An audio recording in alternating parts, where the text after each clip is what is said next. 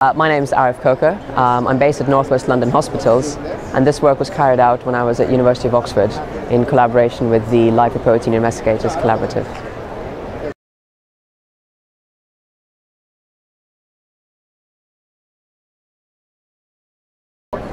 So our study showed specifically in a cohort of African Americans who were entirely free of cardiovascular disease that there was the remnant lipoprotein cholesterol levels, both the composite of IDL and VLDL cholesterol, but also IDL specifically, was actually associated most strongly with acute myocardial infarction. Specifically, we demonstrated that a one standard deviation increase in both remnant lipoprotein cholesterol and intermediate density lipoprotein cholesterol led to hazard ratios of 1.29 and 1.28 respectively. And the importance of this work, if taken in the context of the rest of the literature, specifically a series of studies done from Copenhagen earlier this year and last year, really demonstrated that there is both a epidemiological association between remnant lipoprotein cholesterol and coronary heart disease, but also using Mendelian randomization, they began to suggest that there might be an element of causality involved. So our work not only adds to existing literature indicating the role of remnant lipoprotein, but also shows that this is consistent in a primary prevention cohort and if we just take a step further back and we look at the recent AHA statement on triglycerides, we see that since 1976, although cardiovascular disease has been on the rise, LDL specifically has actually decreased and triglycerides have increased, which is consistent with the increase in insulin resistance, diabetes, obesity. So altogether, there's an increase growing of evidence now suggesting that triglycerides, maybe triglyceride-rich lipoproteins, is all contributing to cardiovascular disease.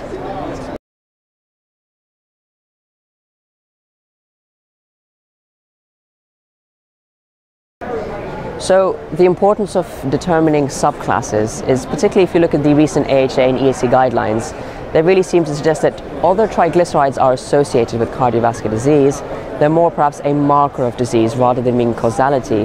And we know that if we look at across all the different triglyceride-rich lipoproteins, there's specific ones which are atherogenic and some which are not atherogenic. So by looking at different subclasses of those triglyceride-rich lipoproteins, we can really begin to tease out which are the ones that actually are important, which will subsequently give us an idea of which ones we need to target.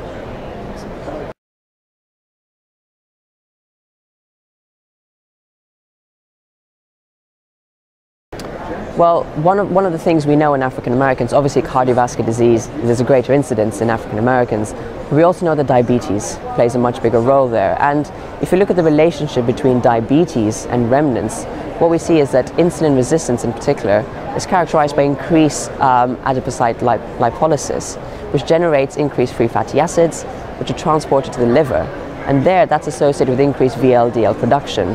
Now, if you have increased VLDL production, you have possibly increased VLDL remnants, and we've certainly shown that remnant lipoproteins is associated with acute MIs in African Americans. So maybe there's a bit of a pathophysiological link developing here between what we've shown epidemiologically, what we know from the uh, basic physiology of lipoproteins, to suggest that maybe the increased risk in African Americans might be attributable to increased remnant lipoproteins.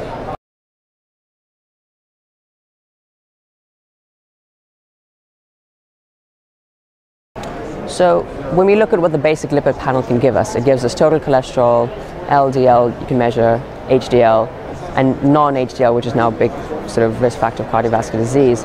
In our study by Nakamura et al. in 2011, they demonstrated that in patients who had achieved target LDL, remnant lipoproteins was a strong and stronger association with cardiovascular disease compared to ApoB and non-HDL.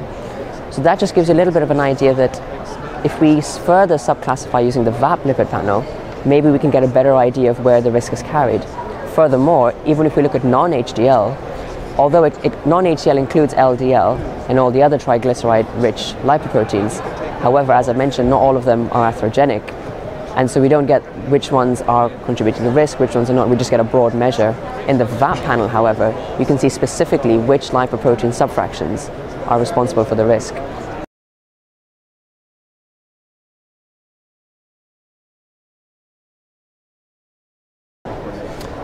Well, certainly. I mean, if we look at some of the evidence of lifestyle intervention affecting remnant lipoproteins, what we do see is that uh, smoking is closely correlated with intermediate density lipoprotein, which we found was a strong risk association with acute MIs. In fact, Steiner et al. in 1987 published in Circulation that smoking correlated very closely with IDL. If we look at um, aerobic exercise and uh, modifying your diet, they both show decreased VLDL secretion and increased VLDL clearance.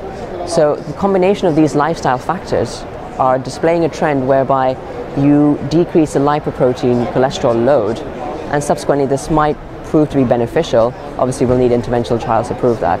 So we've shown that remnant lipoproteins lead to acute uh, increased association with uh, acute myocardial infarction.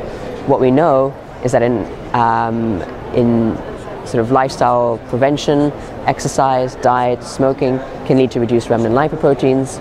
So maybe in African Americans, a greater emphasis towards lifestyle prevention, stopping smoking, might lead to beneficial outcomes.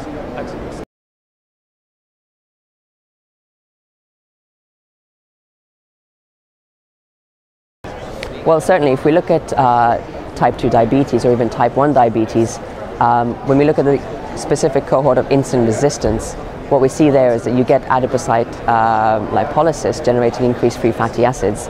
These free fatty acids then go to the liver, and in the liver they're associated with increased VLDL particle secretion.